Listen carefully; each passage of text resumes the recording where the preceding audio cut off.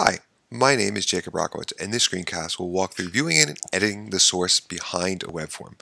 Starting off with a very basic demo of the contact form, which I use in a lot of the demos. I'm going to show you the form, and you can use the UI to edit fields. I like doing this demo where you just add a company to the form. I'm going to call it company. Hit save. And you see the fields added and it's not in the right spot and I want to make some additional changes and I go into the source mode and I'm going to show you that you can move. So you can edit the source on this in this view, in this mode. Here's the YAML and I can go in and say I'd like to make this required, true, I can say it's your company and hit save and we've updated the form and here's the changes. Now, what I do in my workflow is I'm using the features module for a lot of the development. I think it's going to help a lot of people to consider going down this route. Um, so we have the form.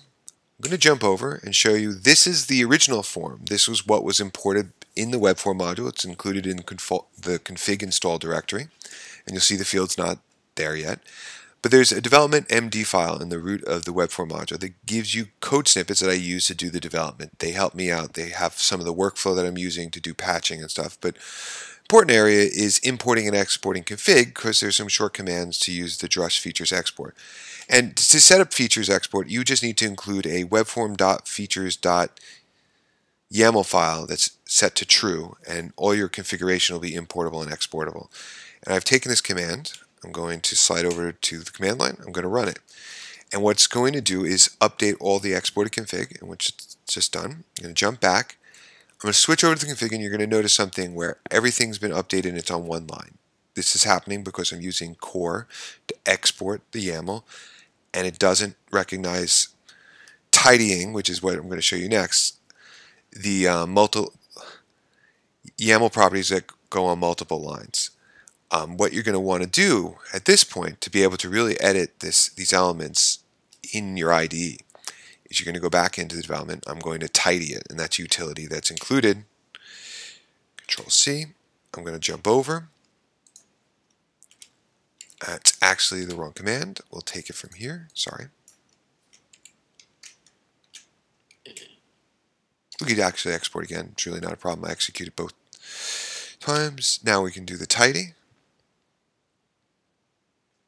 and everything's been tidy because everything was re-exported. And I'm going to jump back, and now you're going to see this pipe delimiter, which allows you to have clean-looking exported config files. And now we can go in and actually make additional edits. We can make a decision that company should come first, and we can update the file in here. What's also very powerful is we can now update anything, not just the elements. So we could say, change the title, contact us. By the way, this all goes into your revision control. Custom email contact web form. Let's see what else you can, and then you can also update the settings. I spent a lot of time on the names of all the settings to make them easy to understand. So you could say send email, or you can go update the confirmation, which at the bottom you can actually start editing the body. We're using tokens, and I think people are starting to get the point of how this is set up. This is meant to be readable for developers, people who understand how the backend's working and want to be able to quickly edit it and also diff it because you can, if this is put into your version control system, you can do diffs. And now to import it, it's really the next step in this file, which is import. Copy it over. I'm going to run it. It's actually going to find this one file that's been updated. It reverted it because that's what we have locally. And now I'm going to jump back. I'm going to hit refresh on the form. I can click here. I moved company to the field top, the title's changed. So you can even go further. I have this one other demo that I missed and I really do want to show it to you is you can go in here and do stuff like if you're trying to debug your style sheet. So let's say I would like to make the font size 2M. Oh, I'm going to do the form font size 2em. You can start manipulating your JavaScript in this view too. I'm going to hit save. I'm going to go back in, I'm going to import.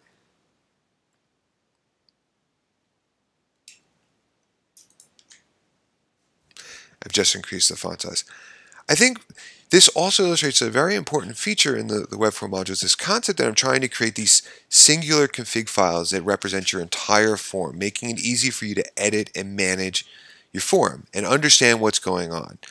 Um, that's why I actually spent the time to allow CSS and JavaScript to be injected instead of relying on a, a separate contrib module to do it, because then you'd have to go into that separate contrib modules config and manage this information. Um, I hope this helps get you started in developing and building very rich forms. And thank you for your time.